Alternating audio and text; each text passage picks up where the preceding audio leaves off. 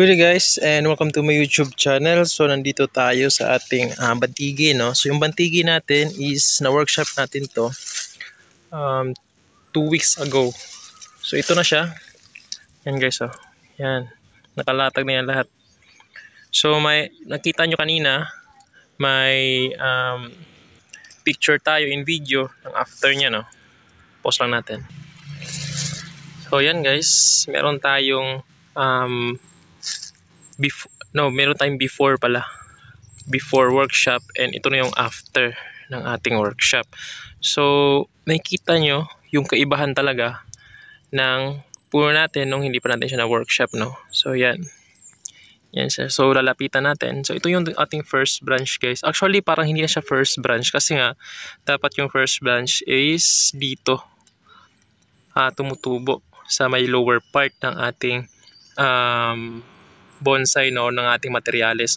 Pero yung case kasi ng Yamadori, hindi siya sumusunod uh, sa rules ng um, nung 1 to 3 no or yung first branch, second branch or yung yung standard talaga na rules ng um, bonsai no kasi yung Yamadori kasi um, nakabase yung um, pag-workshop natin sa kanya sa mga sanga na ibibigay no. So may kita nyo na wala talagang buhay dito sa may bandang ibaba ano, walang buhay dyan, puro patayan. Wala ding sanga na tumubo dito. So mas maganda sana kung ito yung naging first branch natin, kung buhay ito. Pero patay siya no, isa siyang dead wood.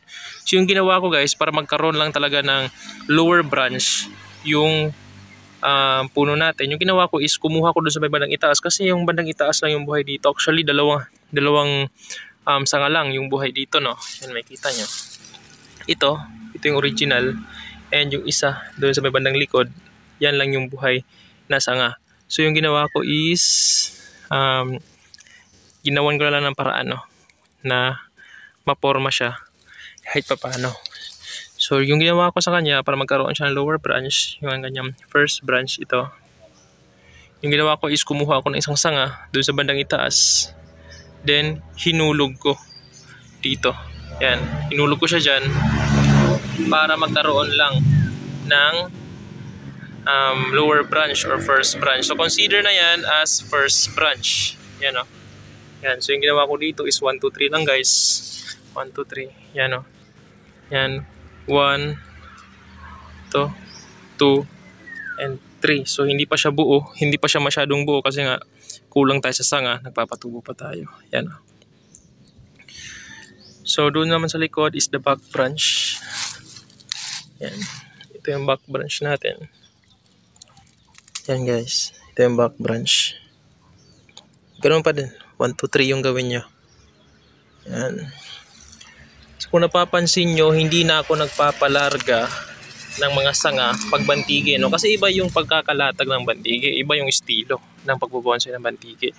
Dapat kasi sa bantigi, pag ginagawa nyo is pinapa, uh, pinapawild nyo siya. Pag nag-wild siya, dun nyo lang ilalatag lahat ng sanga. Hindi na kayo magpapalarga, kundi ilalatag nyo lahat ng sanga ng inyong uh, bantige. No? Yan, lalatag nyo lang, lang lahat yan hanggang sa magagawa kayo ng isang pads. Yan o, tulad nito, isang pads. Yan. Isang pads din dito. So yan lang no, basic lang yung ginawa ko sa punong yan. Yan o uh, first branch, lower branch, gumawa tayo ng paraan para magkaroon ng first branch, the back branch doon sa likod. Yan, back branch. And the second branch dito sa may bandang harapan. Yan o. Oh. Bandang harapan ito. Ito siya. 1, 2, 3 lang yan guys. Yan o. Oh, 1, 2, and 3. 1, 2, 3 lang ginawa ko dyan. Yung dito sa may bandang ilalim, yan, gumawa ko ng isa isang sanga para may silip oh. Para pag sinisilip natin siya sa mabandang ilalim, nakikita natin siya doon. Oh. Yan, so isang padding lang yan. Yan guys, isang pad lang yan. So isang pad lang yan. Ano? Wala tayong 360 kasi wala tayong turning uh, rotating disc na iwan. So yan, isang pad lang yan. So ito is additional lang to sa back branch. Kasi gusto kong uh, makita pag sinisilip ko siya sa ilalim may masisilip tayo isang sanga doon hindi siya bakante yan o kung sisilipin natin sa ilalim, may isa dyan no? hindi siya bakante. Yan. So dito naman sa may bandang itaas is lahat na yan, lahat ng sanga yan is bubuo yan ng isang apex, isang kabuuan ng apex na yan. Yan guys. So depende na yan sa inyo kung paano siya gagawin. Ang importante dyan is meron tayong bipadding. Yan, bipads. Isang pad dito. Isang bipad doon. Basta yung importante dyan is yung clustering. Yung paano nyo igugrupo. Yung mga pads nyo. Yan, clustering yan.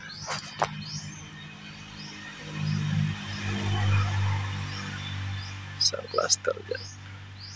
May ibon kasing dumadapo kaya na nasasagi yung mga sanga. Ayan. So hindi pa to final. Hindi pa siya final no. Actually yung target ko dito is ipapa-wild ko pa siya. Pag nag-wild, wire ulit. Kasi kailangan pang ilatag yung ibang sanga. So kailangan dito is number 1 na wire para ma-wire natin yung mga mapipinong sanga tulad yan, mga pipinong sanga, number 1 yan. Number 1 na wire. Tulad dito, makita nyo, namatay. So, kailangan ng kapalit niyan.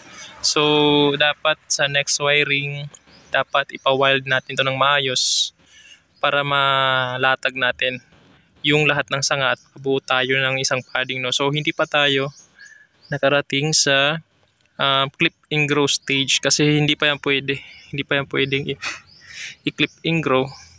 Kasi nga uh, marami pang kulang no sa kanyang mga pads katulad nito pwede to. I-wire na dapat to. Yan, wire na yan para makabuo tayo dito ng isang pads dito banda. Ito kulang pa nga to. Yan. So next time um, dapat i-wire natin yung mga sangang uh, yung ibang sanga para makabuo tayo ng ibang uh, ng marami pang pads o makabuo tayo ng isang pads. Yan. Iisa-isang pads no?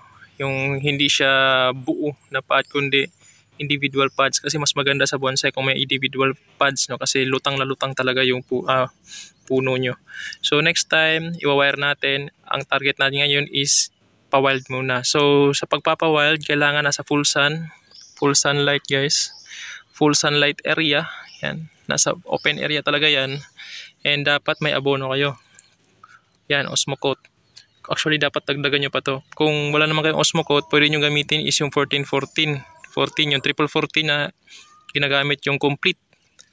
Maganda din yun. Maganda gamitin din yan.